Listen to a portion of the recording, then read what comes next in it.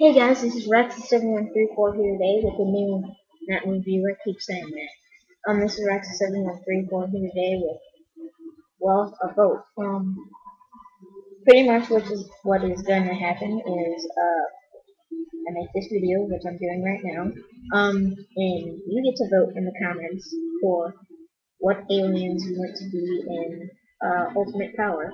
Um, you get to choose from my set, which I'm about to show you, and just leave like you know leave like six or five of the top five aliens you should you think should be in the show and I'll put them in the show for you. And uh I'll remake this video after I get energy and ultimate Cannonbolt and those guys that I just talked about in my last video. Um so here we go. Um here's one of them, Terraspin. Do you think he should be in the show or not? And as one of Ben's aliens, or just a supporting character, or something like that. Uh, this one is in the process of being made.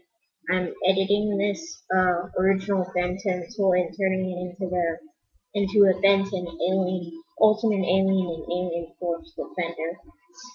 And yeah. Um, Armodrillo.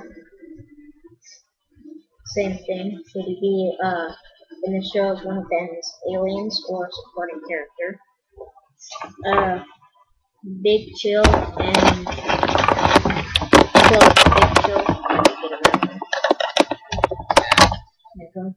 Big Chill and Cloak Big Chill. Supporting character for Ben's aliens.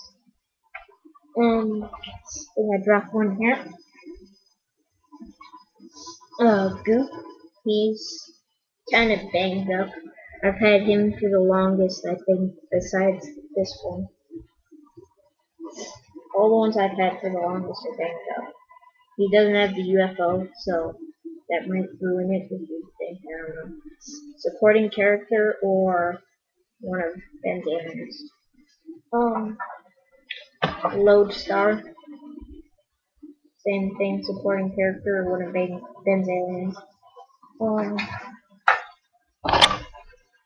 and Ultimate Spidermonkey. If you vote for an Ultimate, then the other form is already in the show because you can't just have an Ultimate in the original form.